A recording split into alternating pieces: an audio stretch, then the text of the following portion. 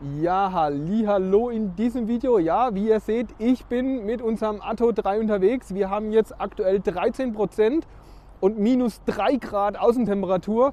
So, und ich habe mir gedacht, ich bin hier an einer Raststätte, an einem ENBW äh, Schnelllader, also 150 kW, aber da ihr knapp unter 90 kW, also irgendwo bei äh, 80, 88 kW ja der Atto 3 DC laden sollte oder könnte, bin ich jetzt mal gespannt, ob das hier besser läuft wie mit unserem MG4, äh, entsprechend mit unserem Standard. Denn beim Standard ist es ja so, da haben wir äh, eine andere Situation. Der hat keine Batterie, kein, keine Batterieerwärmung oder Erheizung, Erhitzung. Ähm, ja, so ist das richtige Wort. Ich würde jetzt sagen, nach dem Intro geht's los und ich lasse euch mal mit draufschauen auf die Ladestation wie es hier aussieht, es ist sehr, sehr kalt, kann ich euch nur sagen. Und ich bin mal gespannt, wie sich der Atto 3 jetzt hier im DC-Bereich schlägt.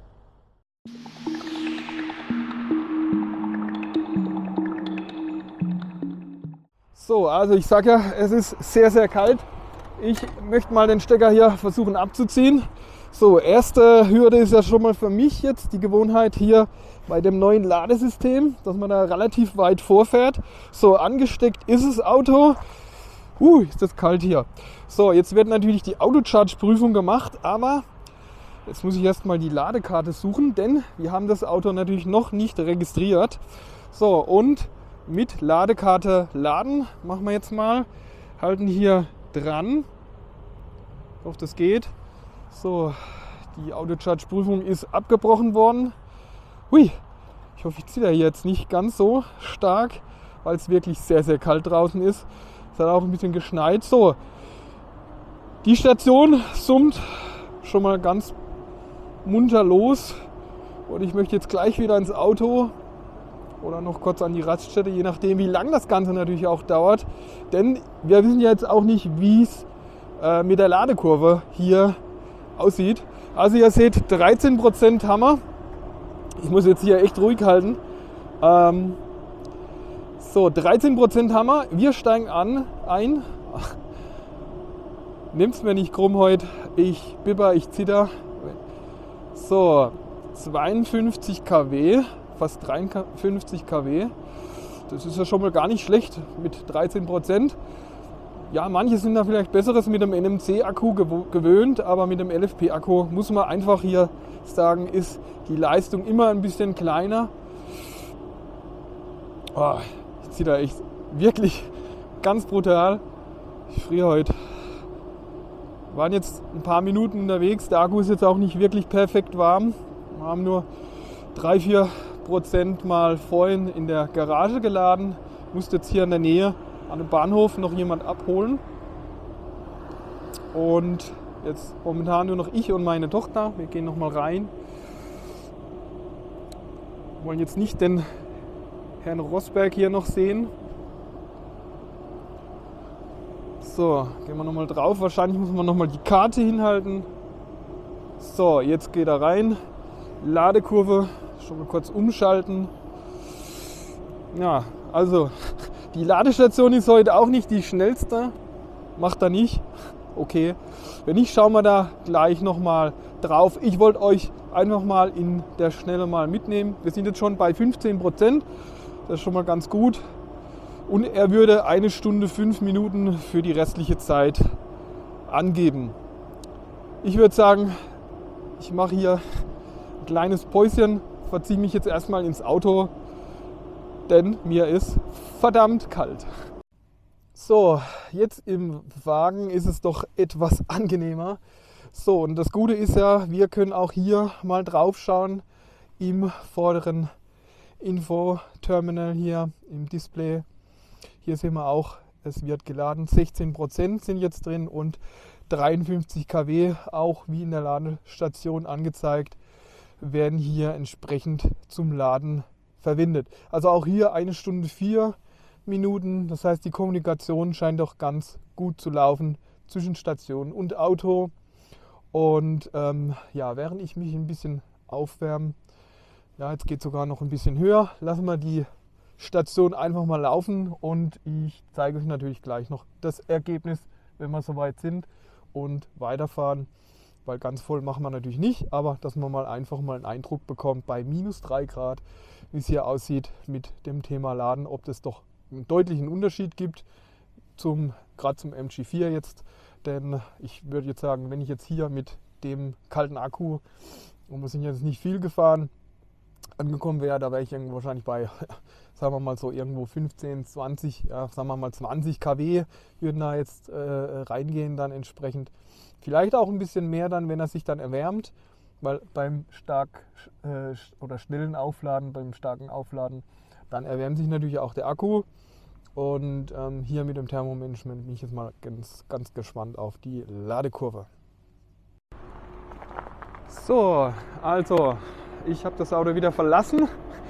Die schöne warme Zone. Ja, und jetzt schauen wir mal, ich drehe mal die Kamera auf das Display hier drauf.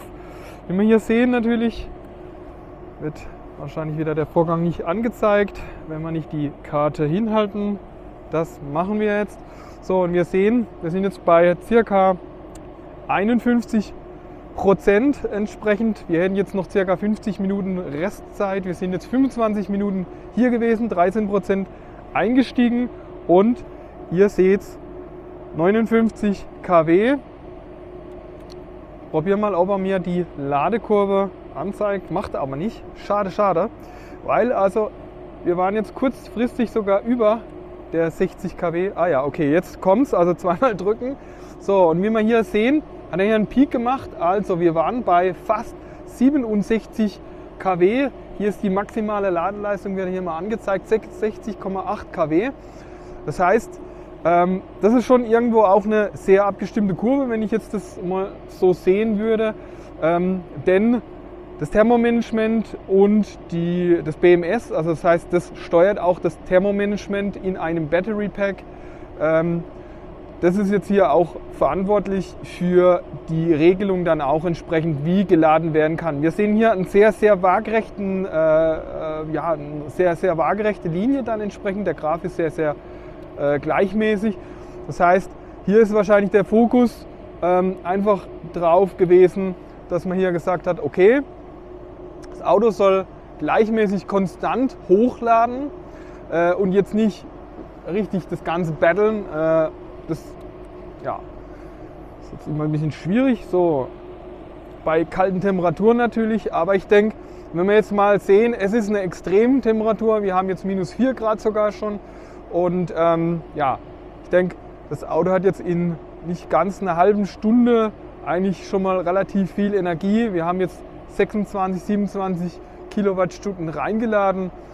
Also finde ich doch eigentlich gar nicht so schlecht für so einen extreme äh, Temperaturbereich. Ja, mit minus 4 Grad hier an so einer Station zu laden, da erwarte ich wirklich auch gar nicht viel. Und ich muss sagen, der Atto 3 erschlägt sich doch sehr, sehr gut eigentlich im Verhältnis bei frostigen Temperaturen. Da hätte ich jetzt wahrscheinlich mit einem ausgekühlten Akku, der vielleicht äh, momentan viel draußen stehen muss oder auch ähm, ja, ich sage jetzt mal beim MG4 Standard ohne das Thermomanagement vielleicht so bei 20 kW eingestiegen wäre. Da wäre sicherlich auch noch ein bisschen höher gegangen. Aber so im Großen und Ganzen muss ich sagen, ja, hätte ich jetzt gar nicht so viel erwartet und zweimal nicht jetzt so viel beim, beim Atto äh, 3 dann entsprechend. Andererseits muss man auch sagen, wir wussten ja, es hat jetzt hier ein Thermomanagement verbaut. Also hoffen wir doch, dass das Ganze hier auch deutlich besser funktioniert, aber ich, ich sage jetzt mal, jetzt permanent hier gleichmäßige Linie mit 60 kW finde ich ja eigentlich schon ganz okay.